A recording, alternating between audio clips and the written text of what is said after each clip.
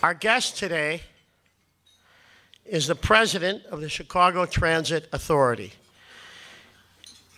He has served as general superintendent of the Chicago Park District. Our guest, today there we go, Park District, good for you. Where he did a fabulous job, I might add. Our guest today has also served twice as chief of staff to Mayor Richard M. Daley. He was elected to two terms as a commissioner, a reform commissioner, I might add, of the Cook County Board. Another, give him a round of applause, well deserved.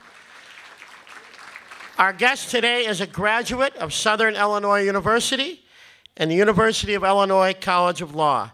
Ladies and gentlemen, Forrest Claypool. Forrest?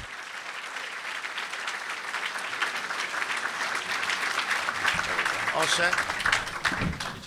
Thank you. Appreciate it. Thank you very much. Uh, real pleasure to be here, and thank you all for coming out. Thank you, Jay, and the City Club. Also wanted to acknowledge uh, my chairman, Terry Peterson, uh, who is with us today, as well as members of the CTA board, Alejandro Silva, John Bowman, Kevin Irvine, and Ashish Sen. Thank you for being here as well.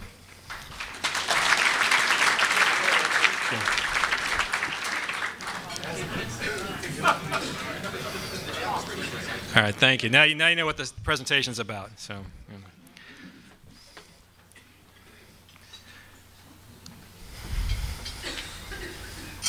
You all remember these.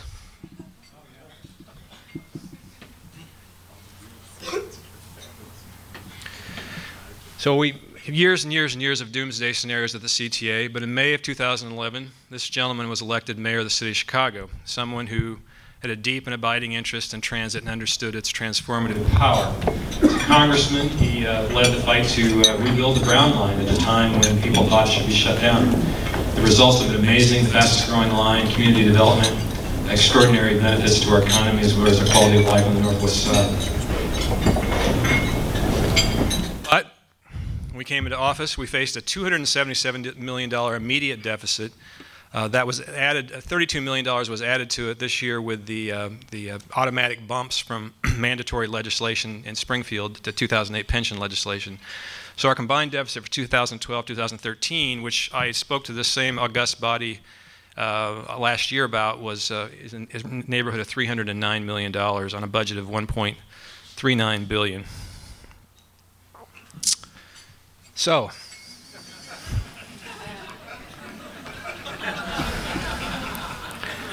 How did we get here? What a mess.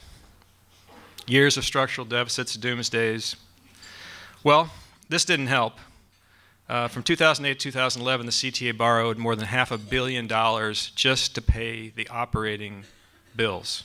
This is not borrowing to invest in the future of the agency. This is not borrowing for capital expenses. This is borrowing just to pay the bills. Of course, this has been a fight for 30 years. Those of you who follow transit um, you know, know it heard it ad nauseum. I know John Gates has heard it ad nauseum for as long as he's been involved. The complaints about the 1983 funding formula shortchanging the CTA. Uh, the CTA is the workhorse of the regional system. We provide over half a billion rides a day. We, I mean, half a billion rides a year. We uh, have 160 connection points in the suburbs. We have direct service in 40 suburbs. Between 15 and 19 percent of all connections are suburban connections. It is the workhorse of the regional system. Uh, the 2008 pension legislation solved the, the before the recession. The um, CTA was the uh, guinea pig for pension reform, um, and the legislature, uh, in good in good faith and with good intentions, did remedy the CTA's pensions, um, unlike many other agencies, uh, and they passed revenue that they thought, uh, or at least some thought, would uh, cover those those reforms. However, the those, those reforms were passed just before the bottom fell out, Lehman Brothers, and the economy. So you can see from this chart the gap between the new revenues the legislature appropriated and the costs of the mandates under that pension legislation, which required the CTA to issue a pension bond fully funded immediately and um, also make actuarial additions each year based on the, the, the solvency of the fund. So the gap between the revenue and the mandates, which continue to grow each year, is more than $100 million. This is actually, you may think that the CTA's fare is $2.25, but in reality it's $1.60. That's the average because of federal and state mandates to provide free and discounted rides uh, to various, uh, various groups, both, uh, both poor and non-poor. Um, and the actual, that brings our average fare collection down to $1.60. So those mandates are in excess of $100 million a year as well. The state provides $28 million a year to offset part of the cost of those mandates. Uh, but those mandates uh, uh, are not, obviously does not cover the full cost. The uh, recession's impact on public funding, you can see again the devastation of the Great Recession, um, and th those trends continue.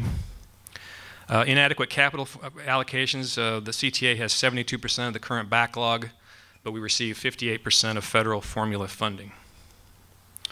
And over the years, the borrowing that I showed you earlier, the half a billion dollars in borrowing, much of that was from the maintenance or capital fund of the CTA, and that resulted in a deteriorating uh, infrastructure. It resulted in a deteriorated service, which means less reliable bus and train service, slow, slower bus and train service, but also higher costs uh, because when you allow your infrastructure to deteriorate, the cost of maintaining and just keeping the, the thing going with band-aids also escalates.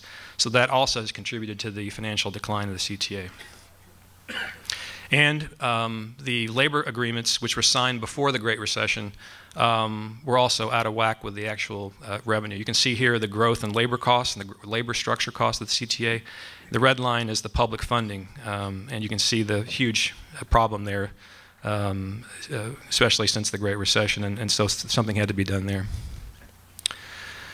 so all these trends, the doomsday structural deficits, over a quarter billion dollar structural deficit, despite the massive borrowing, despite uh, non-union wage cuts. The there's been a five-year wage freeze on management and non-union workers at the CTA. In fact, a wage cut because of furlough days.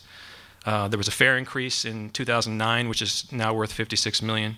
There was uh, deep service cuts, as you may recall, in 2010, 18% uh, on bus, 9% on rail, and there were 1,100 layoffs. And despite all those changes, there was still the $308 million deficit you see uh, there for some of the reasons I outlined earlier. So when the mayor came in and we came in, and Chairman Peterson and I and the, and the board, what we faced was this deficit and expiring union contracts and a new management team that we felt could bring reform and modernization to our practices. So we decided, and the RTA and Chairman Gates were, were helpful in this strategy. They said, we'll, let you, we'll buy you time. Buy us a year. Buy us a year where we don't have to take the draconian steps that would be required if we had to balance this budget immediately. Because if we had to balance the budget immediately by assuming that our labor costs would remain the same, that our management costs would remain the same, then we would have had to both have significant fare increases and also massive cuts to service and massive layoffs, um, probably even bigger than the 2010 cuts. So we punted for a year. And as you can see here from this Crain's headline, they said, we avoided doomsday for now. Now, we could have borrowed again.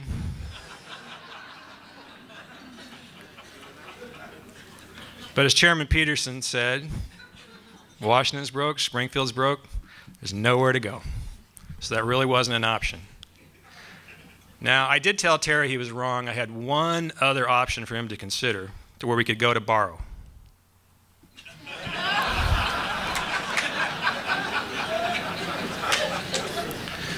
but Terry didn't like the idea of presiding over the Pottersville Transit Authority, so. Uh, so. so we cut. We cut positions. We, uh, to the consternation of our non-union workforce, we cut back on sick, sick and vacation benefits. We reduced contractual payments. We, um, we uh, got the headcount down to the lowest in the CTA's history and also the lowest in terms of managerial to employee headcount. We also got an assist by growing ridership uh, in a slowly percolating, gradually recovering economy. And you can see this is a month, these are monthly totals you can see here. Uh, each month, the ridership uh, going up significantly, two and a half million dollars, two and a half million riders per month growth that we've been able to benefit from. But it still left a $165 million deficit for 2013, and we had to figure out how to get there. We did it with management reforms more, as well as labor savings, and this is where our labor partners were, were key. Just in the nick of time, we were able to negotiate the, the, our agreements with our labor partners, the trades and the crafts and the ironworkers, but most importantly, the Amalgamated Transit Workers Union is our largest work union, which uh, employs our bus drivers, our mechanics, our rail operators, tracksmen, flagmen. The CTA had never in its history had a negotiated labor settlement with ATU. Uh, part of the problem with it is that ATU is a two-headed monster. I shouldn't say monster. It's a two-headed beast. It's rail. Um, it's rail. I mean that very affectionately for the, the ATU people out there. So. It's got a rail side, 308, and it's got a bus side, 241. And, and the, the, Constitution of the Union requires that they both agree. So we could come to agreement on things with 241, we couldn't get 308, and, and so that would scuttle the deal. So I think you can see why it was so difficult over the years, particularly with uh, the acrimonious, uh, uh, difficult economics to get actual agreement. So binding arbitration was how things got done in the past. But this year we worked hard, and I got to give credit. Our labor partners really stood up. They worked with us, um, and we it was it was tough, but we came to a, the first ever negotiated agreement with ATU, and there were significant benefits to it. For them, it was jobs um, and and protection of service, as well as for us. But we got more flexibility and less overtime, work rule reform, healthcare reform, and, and restraint in wage growth. And that allowed us to protect good paying jobs with good benefits that you could raise a family on with a middle class lifestyle for many, many people. And that's very important, particularly these days. And we did our part as well. And having the extra year, which the RTA helped us get to, that extra year bought us time too. It bought us a year to get the labor reform, but it also bought us a year to, to basically see the fruits of our efforts bringing mo modern management practices to the CTA to bear fruit. And those produced more than $50 million in savings to go with the labor savings. Now, if you read the recent headlines, you may have missed this, but we also froze the fares for our customers. Uh, it's uh, two, still $2.25 for the uh, for rail, and it's $2 for bus. Um, and um, that stays the same. About half of our customers uh, pay, pay, the, pay the fares or buy 10, 12, put, put money on the fare system or buy them individually, and those are still those are frozen. But we still had a gap, about a $56 million gap to get there. So after making every single cut we could over 18 months to management to make it as lean as possible to see the fruits of reform. After, after organized labor stood up with us as a partner and helped us bend the cost curve to, to reduce the labor costs in our system, then and only then did we go to our customers and say, we need a little help from you in getting the rest of the way there. And the way we proposed that was through reductions and discounts on passes 30 day passes, 7 day passes, 3 and 1 day. This is this show this chart shows you the monthly pass, the 30-day pass, compared to other price increases in the last decade. Uh, obviously, the price of gas is pretty extraordinary. The, the, last one there is the current monthly pass, a 15% increase since 2002. In fact, the 30-day pass is, is cheaper today than it was in 1995. You can't really say that about other things, as you can see here. Everything from a Big Mac to uh, Metro Monthly to the CTA base to loop parking, Cubs tickets, and the like. So it's a pretty, pretty good bargain. And you can see in the second graph here uh, that 33, that is what we're proposing to take it to, which still puts it very low. Here's the comparison to other cities. Chicago was just a buck behind Boston in having the, the largest and most generous discounts on passes. That's what the yellow line is. And with the proposed increases in passes, we are proposing that our discounts be reduced to the point where we're right in the middle of the pack nationally. And will probably be passed because New York has one in December as well. And that brings us into balance. With those changes, with uh, you know uh, management, labor, um, and the past and past discount reductions, plus all the hard work of the last 18 months, um, plus a growing ridership, we're able to finally put the doomsday scenarios of the past behind us. So that's why we titled this. Thank you.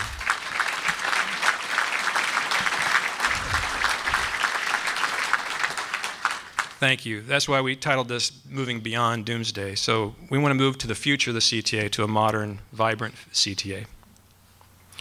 Now, you can see here and these are projections, obviously, but you can see what, what these, these, these new structural changes mean. It means that our revenues and expenses are essentially in line, but as time goes by, there's always going to be a little bit of a gap between uh, growth and expenses and revenue, which means we have to be more efficient each year. Private businesses do that every day. We need to do it as well, and government can do it. Just as we've made efficient gains in, in, in the last 18 months, each year we want to improve our management practices, do things a little better, a little more efficiently. And some of the changes I'll talk about in a moment are related to that. But that's to keep, as the years go by, is to keep that gap narrowing to, to, so we can keep the revenue and expenses in line. But this budget maintains our service levels, which is critical. Our, our, so many people depend on our service every single day to get to work, to find work, uh, to get through to their neighborhoods for work and for play. It maintains and protects that service, but also protects our plan to add, to add service where it's most needed, at crush periods and rush hour on the majority of our system uh, to reduce crowding and provide comfort and more frequent service. It freezes the base and rail fare. We have a historic labor agreement that bends the cost curve. It allows us to continue to, to make management improvements and also add jobs. We're hiring 400 uh, new bus drivers, for example, uh, as part of the Red Line uh, renovation, which we're going to maintain in our system because of the growing demand. We stopped the transfer of capital, which was so, uh, so um, poisonous to the CTA in the long term, and allows us to continue to invest in the future. So, but when we faced this deficit originally, and, and reporters would ask me this, we would, the mayor and I would announce various improvements, capital improvements in the system to modernize the system, and they would say, "Well, how can you do this? And you got these deficits and everything else." And my answer was, "You gotta, we got to be able to chew gum and walk at the same time." Which is why I have this little boy here chewing gum and walking at the same time. so we made improvements. One of those improvements you may have read about was our security camera system. We added 3,000 cameras, created a security network of 3,000 surveillance cameras in our system. And we added 50 additional police officers to the transit force, made a $10, billion, $10 million investment in more police officers. And that has had a significant impact in our system. Uh, in 2012, from January to, to, September, we've had a 23 to 25 percent decrease uh, in robberies and violent crimes on our system. Uh, thefts are still up, but they're, at a, they're at a, up at a fraction of the previous trend over the previous three years. So the cameras are working. The extra police effort is working. Um, and security uh, was our top priority coming in. We want our passengers to feel safe on our system. We continue to make those investments and focus on security because safety is number one. We also invested in technology for convenience. Convenience is what's important to our customers as well. And part of the frustration is not knowing when the bus and train are going to come. So we put bus tracker screens at our, at our uh, uh, bus stops, as well as we're currently installing and we'll have by the end of the year all of our rail stations uh, with the train trackers so people know exactly when the train is going to come, in addition to being able to access this obviously on, um, on, our, um, uh, on, our, on phones and computers. And we invested, uh, we worked smarter too. Uh, we, we put all our trades crews and put them on SWAT teams to descend, sometimes with the contractors is supplementing them, to come in and basically take over a station and completely repair everything in it, improve the lighting, painting, amenities, so that when people walked in it the next day, they thought it was almost a new station. They walk in, it's brighter, it's more comfortable, it's more clean, it's, it's something that uh, aesthetically feels safer, more secure, and it's a place you want to be. You can see the sort of the dark, dank, uh, before and after at the Logan Square station is one example. We've done 100 of these stations in 2012. And you may have read about the Jeffery Jump, which is a down payment on bus rapid transit. Uh, those customers are experiencing some of the faster times by using technology to jump queues, uh, dedicated lanes, and the like, and that's something that uh, the mayor is very committed to. And I mentioned before the crowding reduction. Um, too long, our customers have been treated like sardines. And if you're on one of our trains or buses at peak times, you may feel like one. Um, and so we created, uh, for the first time in a generation, a complete, with Northwestern University's transportation department, a complete rationalization of the system and look through, through at changing our schedules and our, and our, and our routes. Uh, but unlike the one 15 years ago, which was done by Booz Allen, um, which resulted only in cuts, uh, the elimination of about 10 bus routes and other changes. Our plan was to eliminate low ridership uh, bus routes and duplicative bus routes, and then take all the money and reinvest it where it's needed the most, where basically to eliminate the sardine cans. So we're adding service at 70 for 76% of our customers. 2% of our customers will need to uh, uh, use an, a, an, adjacent service, either bus or rail, than the one they've used today. But 76% of our customers will get the benefit of added service on 48 bus routes, six rail lines, um, and uh, 10 to 15% less crowding, more personal space as well as more frequent service. So the buses and trains will come faster than they did before with at smaller intervals. Um, and this starts December the 16th. And you can see from the grid here, the red is what's eliminated, the green is what's added. You can see the scope and breadth of the, of the service improvements throughout the west, south, and north side. Now, of course, as I mentioned before, there were some proposed eliminations which you know, are always controversial, um, but you periodically have to um, rationalize the system. Otherwise, you end up with this. This is uh, the old Lake Street bus service. You may notice that it goes up and down Lake Street, but you may notice that it runs under the L. And this existed until 1997, and there were various attempts to change it, and it was always beaten back because change is hard, and, and obviously a lot of people preferred the bus to the train, but it was an, it was an example of a luxury that you, if you're really going to have a, a, system that doesn't uh, overtax the taxpayers or that creates crowding that you have to deal with. And some of our changes are similar to the, to the Lake Street example. Because if you don't do it, you end up with this. You end up back with this. If you don't occasionally do the, like what we're doing with the uh, crowding reduction plan, you end up back with sardine cans and red ink. Customers are treated like sardines because you're packing too little service where the demand is the greatest, and you're asking the, and you have deficits or higher fares for the for the paying customers. So the hard choices occasionally do have to be made. We believe we've made them. We believe that our board took the hard, tough look at it and, and made the hard decisions. But the benefits to the vast, vast majority of our customers are going to be very evident on December 16th going forward.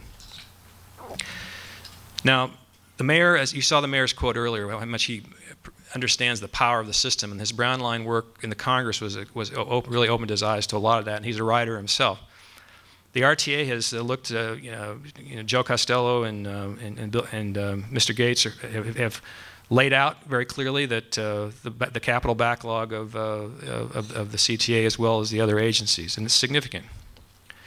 And you we've seen the dangers of disinvestment. We talked about that earlier in terms of uh, service or as well as cost. Here's one example of why it also you, well, you really don't save money by disinvesting in the system, at least in the long run.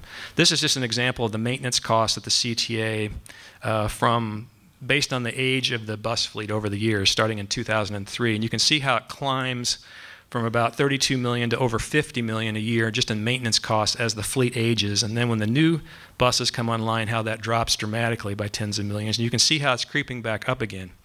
Uh, and that's, that's a classic example of how the capital investment not only improves service, but it also avoids these types of spikes in maintenance costs and allows you to lower those overall costs. Transit over the years, the CTA has gone, has gone, the speeds have gone down because of these disinvestments. You can see some of the time differentials there between 1990 and 2011.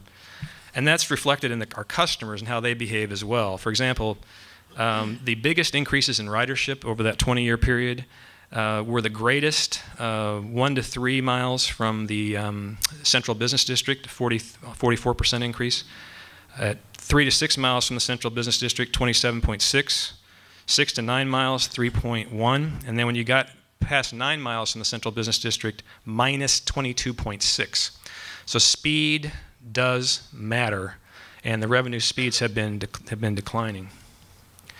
Um, that's why our goal is to remove slow zones, uh, to improve the speed and the pace of our, our rail service, and make it more like this. One of those projects is Red Line South, which you may have heard. It's a five, five month line cut that starts in May and ends in October.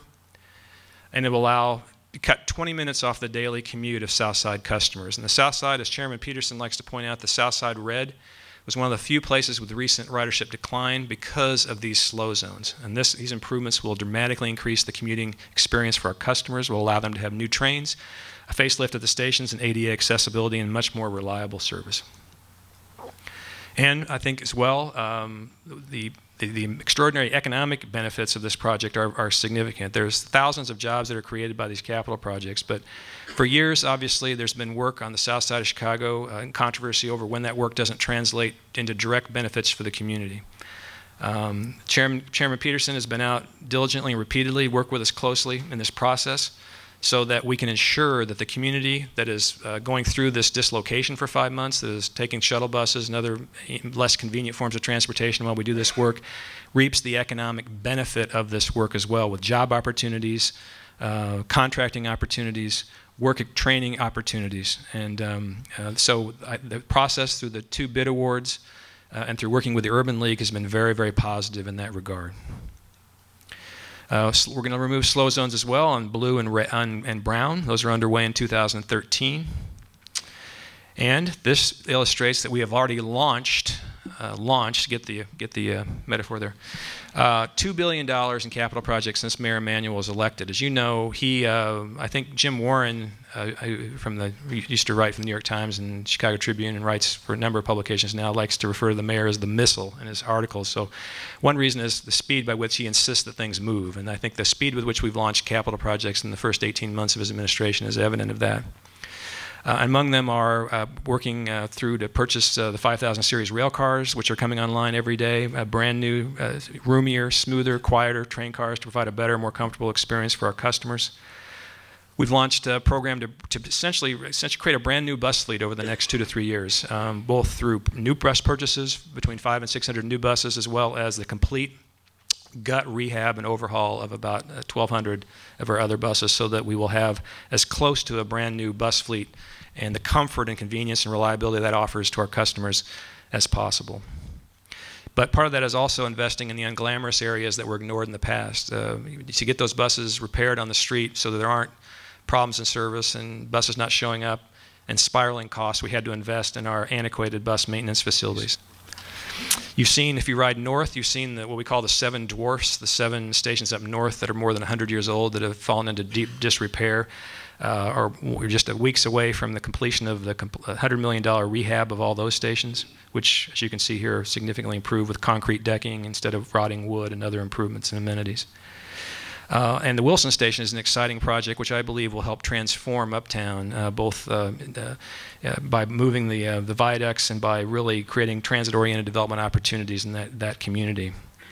Same goes for the 95th Street Terminal. For those of you who may have seen that, that bus and rail hub, which is extraordinarily inadequate, uh, uh, just just horrible conditions of uh, crowding and um, really a lack of there's a sa safety issues of pedestrians crossing bus paths and a lack of sort of modern amenities. We're creating a Mayor Emanuel with um, the help of um, uh, Secretary LaHood in the federal uh, grant making process. We have uh, received almost a put put together a package of almost a quarter billion dollars to completely create a modern transit hub on the on the south side of Chicago, which will uh, benefit that that burgeoning community for many years to come. Uh, Cermak Green Line for McCormick Place is also in the in the plans, and the Washington Wabash Superstation that will combine and consolidate two loop stations with CDOT Gabe Klein and CDOT working very closely with us on both of these important, critical, job-creating projects. And we have a five-year capital plan. Um, the two billion underway is part of a four billion dollar capital plan that will bring the CTA to a state of good repair, or as good or as close to a state of good repair as we can be. It does not mean that every year after that you don't have to invest anymore. It means there's still hundreds of millions of dollars each year after that you have to continue to invest to, to maintain and protect that state of good repair. But we believe this will take us a long way towards that, towards that elusive, elusive goal. And you may ask, what does it matter? John Norquist I'm, is, a guy I'm uh, fond of his work. He wrote a wonderful book for any of you interested in urban planning or urban experience called The Wealth of Cities. He was a former mayor of Milwaukee. And his point is that cities have always driven human progress, and that's why cities matter and why cities are important. And the reason is the cities have scale and density that, it, that, that creates a, a, powerful energy for forward movement, uh, that brings people of great talent, creative energy, whether it's in the arts or commerce, uh, together, that want to be in proximity to each other, to share ideas, to, to feed off each other, to build together. And that's why cities are so important. And cities, to have the proper scale and density, need mass transit. They need affordable, convenient, reliable, quality mass transit. Mass transit is the artery, they're the, or the arteries that make that system go, which is why Mayor Emanuel said to compete with other cities, to draw workers and businesses to Chicago, we need a strong and vibrant CTA. That's why we're investing in that future. That's why the mayor is investing in that future. That's why it was so critical to right the fiscal ship, to put the doomsdays behind us, to begin investing in the future in a modern CTA and not simply patching together the remnants of the past. So thank you so much for having me here today. Um, I'm grateful for the opportunity to tell our story and excited to be working ahead with the CTA.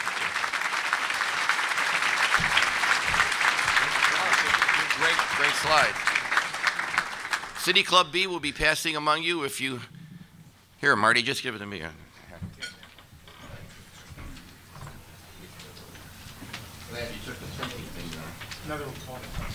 Late return? Okay. Forrest, this is from Joyce Saxon, Board of Governors. Uh, Apple sponsored the new beautiful Clybourn North uh, Avenue subway uh, station. Any chance of other firms volunteering to do so? Ahead. Go ahead. We're actually working with uh, IMG um, right now in a process of uh, looking at opportunities like that, uh, uh, discussions with corporate, potential corporate sponsors and others that might be willing to uh, to make those types of, of investments or support the system uh, in exchange for some sort of recognition, like the Apple Store, which I agree is a great example. So, um, stay tuned on that one. I think you could handle these two questions for us. You handed in blank. All right. Don't know. From State Controller Judy Baar Topinka, would you like to, former RTA board member, Ah. would you like to see the RTA abolished and the CTA Metra Pace each on their own uh, organ? Or RTA absorbs the other three and runs the show? And you're elected official. Uh, no to the latter, and then I'll talk to you privately about the first one after the.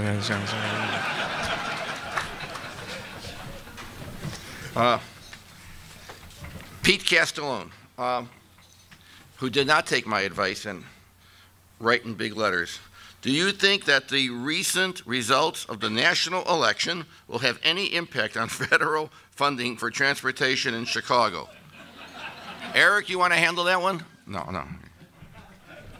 Yeah, sure do. Um, I think we saw the big partisan fight earlier this year uh, where uh, there was an attempt by the Re- Republican Party to uh, significantly reduce the uh, uh, transit, federal support for transit. Um, uh, in fact, taking away funding for, for example, we couldn't compete for bus grants and reducing rail funding and other things. So that fight actually, I got to give you know uh, some credit to the moderate Republicans who still uh, are still exist in this country because, um, including several of the Republican incumbents who, who locally who were defeated in this last uh, election, who really did stand up and, and, and fought back against Speaker Boehner on that, and, and Speaker Boehner had to actually retreat um, because there because there was a, a suburban Republican constituency that understood how valuable and important um, uh, commuter rail and, and and the connections to that rail were. So, for example, Metra and Metra and the CTA here in the city. So, uh, Congressman Biggert, Congressman Dold, for example, uh, were emblematic of those Republicans who stood up and had and pushed back, so that actually that those attempts were unsuccessful. But having said that, I think the president's election and, and the retention of the Senate does give uh, the, the president a mandate of sorts to push for a more expansive, stimulative transit bill. As you may recall, the last transit bill was only a two-year bill, uh, which I believe we're probably six months or so into. So uh, usually they're five, six-year bills. Um, so I think you're going to see, particularly as part of the effort to jumpstart the economy, hopefully an effort to uh, to to put more of an investment into transit, given its job-creating potential and also the the impact it has on productivity within commerce itself, which I think is something that's not as well understood as others. People like John Norquist understand it, Mayor Emanuel understands it, but not everyone in Washington, unfortunately, understands it. Okay. Well, we have a lot of, no more questions. We have a lot here, so let's go a little, uh, the bullet round, uh, like the bullet train. Martha Jantro, how will sequestration, if we go off the well-known cliff, I, I assume there will be a, RTA's planning for a train to make it easier to go off the cliff? Thank you. Uh, pretty slow crowd, if you ask me. How will sequestra, how will secret, that word, uh, affect the- the uh, CTA planned uh, revenue stream and other projects? Uh, I, I can't 100% guarantee that it won't, but the latest iterations out of Washington that we're hearing is that because the gas tax funds, transit is being treated as a user fee as opposed to something that would be sequestered under the spending cuts. That could obviously change at any time, but that's the intelligence that we're receiving. Jennifer Clark, Loyola University. Uh, how does the CTA work with CDOT to connect bikes and transit? I will spare my editorial comment on that. Go ahead. Well, as, as Gabe Klein is here knows, we worked uh, collaboratively on a couple of federal grants that allow us to help that will help us create um, intermodal centers that are rail stations that are both bus drop-offs, but also because because of what Gabe's doing, we'll now have significant bike significant bike component where people can rent bikes and go throughout the city and drop them off other places. So it'll be truly be intermodal: bike, bus, rail. Allow people to take advantage of all three. And uh, and, and it's something as you know, Commissioner Klein is here. Uh, you know, something that he and the mayor have been working very hard on, as you can see from all the sort of the bike paths propping up everywhere. I can't help myself. Yeah, bicyclists on Michigan Ave We're doing rush hour. Great idea. Just great idea. Uh, this is from Greg Martinson. Oh, we, we, all, we all know the answer, but just make it for the few who don't. Tell us about Ventra. Sure. Uh, just is our uh, brand name for a uh, new uh, smart card that will replace the Chicago card, but also have the uh, act, act, like a credit card. You can use it really anywhere for retail purchases or, other things. It's one of the investments in technology that I didn't mention um, that we are moving toward and will and will actually implement in late 2013.